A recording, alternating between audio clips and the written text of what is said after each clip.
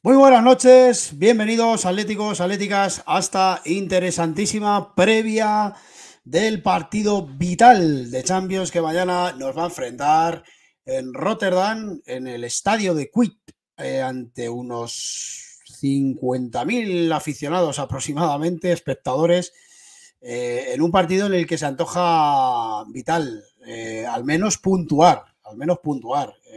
si fuera la victoria, evidentemente que sería muchísimo mejor, pero ya sabéis que el equipo holandés no nos lo puso fácil en, la ida en nuestro en el Metropolitano y tampoco lo, pondrá lo pondrá fácil esta vez. Eh, vamos a hablar de, eh, como siempre, de, cómo entran los equipos, de cómo de cuáles son las, los once probables que, se van a medir mañana a las 9 de la noche, como decimos, en el estadio de Quip. Y em, vamos a también a, reaccionar, a analizar a la rueda de prensa o a las palabras, sobre todo de Simeone. Ya sabéis que las, ruedas de prensa de Champions son un poquito tediosas en ese sentido, porque, eh, bueno, eh, en este caso está acompañado de Bissell. Eh, ya sabéis que Simeone es muy maniático con estas cosas. Debe ser que Bissell le está dando bastante suerte ¿no? al equipo en estos enfrentamientos de Champions y también ha acompañado ahí al técnico argentino en rueda de prensa. Eh, esto es un espacio de bendita afición, se llama Cortita del Pie, yo soy Ángel Cuesta, para los que no me conozcáis, y está patrocinado por concesionarios Mercedes-Benz para Cuenca y para toda España, y por equipaciones Homa. Así que vamos ya al, al lío, y lo primero es mostraros las imágenes de la llegada del Atlético de Madrid a tierras eh, holandesas, a, Países Bajos, ¿vale? Eh, como, se, se llama ahora. Y bueno, pues aquí tenemos eh, las imágenes ¿no? del, entrenamiento del, Atlético de Madrid que, se ha entrenado en el estadio de Quip, la bañera le llaman al, estadio holandés. y aquí, bueno, pues tenemos algunas imágenes ¿no? del entrenamiento. Rodrigo de Paul, tenemos también buena, buena imagen, ¿no? Esta, me ha gustado mucho. vamos a dar otra vez para atrás. La imagen de, de Reinildo, ¿no? Entrenando al lado, de, al lado de Mario Hermoso, ¿no? Que quizás va a ser su, su durante lo, que, durante lo que resta de temporada. Eh, bueno, eh, llegaba en torno a las 6 de la tarde eh, al aeropuerto de Rotterdam y a partir de ahí, pues bueno, pues hacían un, entrenamiento suavecito, en el que evidentemente no, no, se ha mostrado nada de lo que puede ser el, posible 11 que, vaya a salir mañana, que se vaya a enfrentar al equipo holandés. Pero bueno, atendiéndonos un poco a lo, a lo, que pasó, ¿no? a lo que se vio en el, en el, en el pasado partido ¿no? contra, contra Mallorca en el Metropolitano, pues ya tenemos una, una ligera idea ¿no? de, lo que, de lo que puede sacar mañana Simeone. La lista de convocados con eh, muy buenas noticias porque eh, prácticamente que está todo el mundo recuperado, todo el mundo eh, al 100, menos Lemar, que ya sabéis que tiene una lesión de, larga duración y que posiblemente ya se, pierda toda la temporada. Pero la grandísima noticia, teniendo en cuenta ¿no? cómo, cómo fue ese enfrentamiento en el Metropolitano, en el que prácticamente tuvimos que rellenar la convocatoria de, gente de la cantera, es que tenemos a toda la plantilla prácticamente disponible, menos Lemar que, no entra, que no entrará. Con lo cual, bendito problema, nunca mejor dicho, para Diego Pablo Simeone, que tendrá que hacer un 11 eh, en el cual, pues bueno, ya seguramente que hay algunos puestos en los que va a tener que, eh, en los que va a tener, evidentemente, que eh, calentarse la cabeza. Vamos a ver lo que, como siempre, nos dicen eh, nuestros amigos de Fútbol Fantasy, ¿vale? ¿Cuál va a ser el, probable, el probable 11, ¿no? Los probables 11 que se vayan a medir mañana en el estadio de Quit, la, bañera, ¿no? Eh, aquí lo tenemos, eh, no sé si lo podéis ver, creo que sí, vale, sí, ahí lo tenemos. Y em, bueno, eh, por parte del Atlético Madrid, ahora analizaremos el, el también lo ha hecho Simeone. Pero si queréis empezamos un poco por el, por el Atlético Madrid. Muy pocas eh, novedades, quizá lo esperado, ¿no? Los, jugadores que descansaron contra el Mallorca en casa, sobre todo los, argentinos y, Jiménez, van a ser otra vez de, la partida. Eh, seguramente que en el 11. Aquí en este, aquí en este 11, bueno, lo primero ubican mal, ¿no? A este centro del campo, porque es al revés, ¿no? El que va a ser el 5, Marcos Llorente o Barrios, yo creo que ahí está la, principal duda, será, eh, será interior derecho, si, si Llorente es interior derecho, De Paul será izquierdo, pero yo lo que creo, no creo que vayan a salir así, yo creo que va a ser De Paul eh, interior izquierdo, esa es mi sensación, y que va a ser, em, eh, no descartaría, puede ser lo más probable Barrios, yo creo que puede ser Barrios por las buenas actuaciones que está teniendo últimamente, pero no descartaría tampoco a Saúl. ¿eh? Yo tengo la pedrada de que para este tipo de partidos en los que seguramente por el empuje, sobre todo de inicio del rival, te va a hacer falta alguien que ayude, sobre todo en lo táctico, ¿no? A, a Coque en el, en el, medio campo, con más experiencia que Barrios y con, con esa capacidad que tiene Saúl también de, de ganar duelos aéreos y, bueno, de, ponerse las pilas ¿no? en, el, tema defensivo sobre todo, ayudar a Coque, ser el escudero de Coque en esa zona, yo creo, yo no descartaría a Saúl en el interior izquierdo, ¿vale? Ya sabemos que ahora mismo no está atravesando quizá por su mejor momento de la temporada, empezó muy bien, ahora ha bajado un poquito su, su aportación, pero no lo descartaría para este tipo de partidos en los que Simeone eh, tira mucho ¿no? de, la, de la gente con, experiencia, con, jerarquía. Eh, el 11 atrás ya lo sabemos muy claro, Black, Jiménez en el eje de la defensa, Bissell como central derecho, Hermoso como central izquierdo, yo aquí no tengo ninguna duda, creo que Jiménez al 100 eh, es titularísimo para, para, Simeone. Y luego, pues bueno, la, parece ¿no? que, la, que la partida en el carril izquierdo la, la ha ganado Samulino a Riquelme, y eh, Riquelme, como se vio también en el Marroca, puede entrar en la segunda parte ya no solo como carrilero, sino también eh, haciendo esa, esa función de, interior que hizo muy bien, ¿no? En esos minutos en los que coincidió con, con Samulino. Rorro se pasó, digamos, al, al, carril izquierdo y Samuel Lino, ¿no? Estuvo prácticamente jugando como un extremo, ¿no? Metiéndose muy bien entre líneas, eh, aportando mucho en esa sociedad con, con en la, en la delantera y con, y con, el propio Riquelme por esa banda izquierda que, hicieron mucho daño. Morata, no hay sustituto de Morata.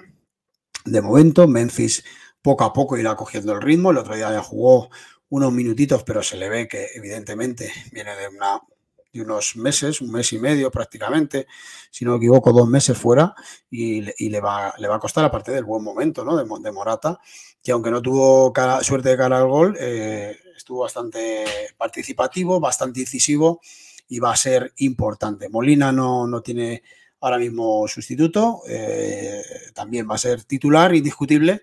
Y, bueno, más o menos el 11 es lo que, lo que esperábamos. Yo tengo la duda, quizá, lo que os comentaba de, Coque, eh, en el, o sea, perdón, de Coque, de Saúl en el interior izquierda, esa es mi principal duda. Yo creo que puede puede eh, decantarse por el incitano y esperar a, esos minutos finales. Ya sabéis que a Simeone le gusta hacer partidos largos, le gusta llevar este tipo de partidos que además es vital, porque aquí es importante al menos eh, sacar un empate.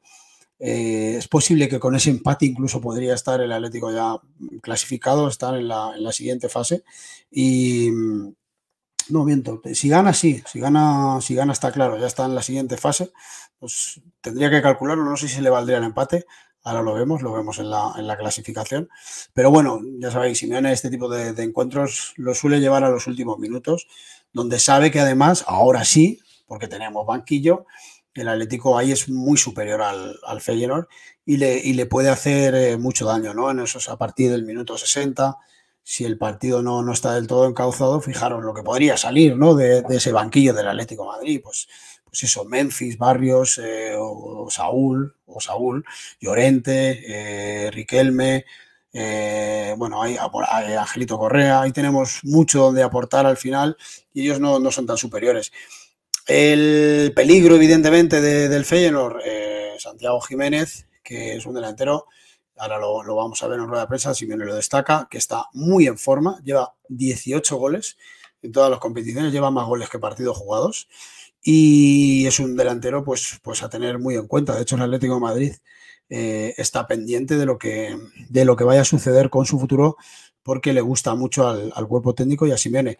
Delantero que es además de, de nacionalidad argentina y bueno, está jugando con México, ya que bueno, él, vio más posibilidades ¿no? de, poder jugar en la selección mexicana eh, que, en la, que en la Argentina. Entonces, eh, pero, pero es hijo de, un jugador eh, mítico argentino, también llamado de apellido Jiménez, y está siendo la revelación ¿no? de, en Europa. está haciendo muchísimos goles. Viene de, de hacer hard trick en este último partido, este fin de semana, con lo cual espero que haya dejado todos los goles y, es un delantero que, tiene, como dice Simeone, que patea muy bien con ambas piernas, que va muy bien de cabeza, con un tren inferior muy potente, se mueve muy bien en los últimos metros. Fijaros, me, recuerda un poquito en ese sentido a Suárez, que mete muy bien el culo, ese típico jugador que, se busca mucho eh, el espacio y muy bien, ¿no? Metiendo, metiendo el culo, metiendo las caderas, que se da muy bien la vuelta muy rápido, muy peligroso, un delantero muy a tener en cuenta, muy peligroso. Luego quizá en el ataque yo destaco mucho a Pasiao, también que nos hizo mucho, mucho daño. Y aquí también yo creo que ellos no, no, se, no forman así, no forman con doble pivote, ellos forman también con un pivote y, luego dos interiores. Y hacen algo parecido a lo que el Atlético de Madrid también en algunos casos. Meten al, lateral derecho, le meten a ayudar al pivote eh, y dejan todo, todo el, extremo derecha, ¿vale? Para, para Cerruki, que puede ser titular, yo diría, o Iván Isek, ¿vale? Que también es un, Iván Usek es un eh, delantero muy peligroso, muy rápido. Ya lo visteis en el Metropolitano, es un equipo que tiene eh, mucho brío, tiene mucho poderío físico, es un equipo que, mm, que, le gusta tener la bola, es muy peligroso, yo diría, si le dejamos demasiado dominio del balón. Ellos el balón lo saben mover bien y con mucho criterio y saben hacer daño cuando, cuando tienen el balón. Lo malo que tienen para mí, eh, pues es la defensa. La defensa es, es bastante endeble, en mi, opinión, y es una defensa a la que se le puede hacer bastante, bastante daño. El portero tampoco es un eh, grandísimo portero. Yo creo que ahí es donde, donde ellos más sufren. Y luego, pues que tácticamente eh, son un equipo también que tiene sus, lagunas, ¿no? sobre todo en el, apartado de repliegue, en el apartado defensivo. Nosotros prácticamente con muy poquito le hicimos muchísimo daño y eso que eh, en esos momentos, hace un mes aproximadamente, el Atlético de Madrid andaba eh, bastante peor físicamente, andaba con muchas bajas y ellos, eh, bueno, pues andaban con, un brío mayor, ¿no? Con un, yo diría con un punto de físico eh, más alto, con más chispa. Eh, bueno, vamos a ya, si os parece, a la rueda de prensa de Diego Pablo Simeone, que la tenemos por aquí. ¿Vale? Y vamos comentando un poquito qué es lo que, es lo que ha dicho el bueno técnico argentino. A ver, no sé si lo veis. Vamos a echar atrás, que yo creo que no estáis viendo nada. Un delantero con gol, un delantero con. Empezamos. Es una, es una. Lo que os voy a poner es una rueda de prensa resumida, ¿vale? Son las palabras de Simeone. En consecuencia, orgulloso de, haber competido 100 partidos. 100 partidos en, Champions. de Madrid porque el club Ojo, ¿eh? ha estado 100 partidos eh, con bastante continuidad en estos últimos años y eso es muy importante para nuestra gente, para nuestro club y para nuestro crecimiento a nivel mundial.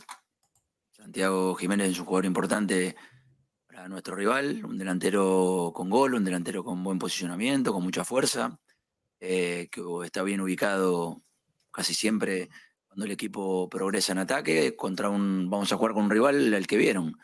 Eh, dinámico, ágil, con, gente que ataca por, por dentro, que tiene mucha profundidad por fuera, que genera una buena presión, como ustedes comentaban, eh, dinámicamente en tu campo. Ante todo eso tendremos que nosotros otra vez repetir, llevar el partido donde creemos que le podemos hacer daño. como siempre, Simeone destacando las virtudes del, equipo eh, del Feyenoord, del, equipo holandés, que eh, en su campo, ahí se me ha quitado en el tintero comentarlos, ellos tienen que ganar sí o sí. Ellos es eh, prácticamente un empate para ellos, dependiendo de lo que pase en el otro grupo, que por cierto, en el otro partido del grupo, que por cierto se va a jugar antes, eh, parece una tontería, pero yo creo que es, eh, algo a, tener a tener bastante en cuenta.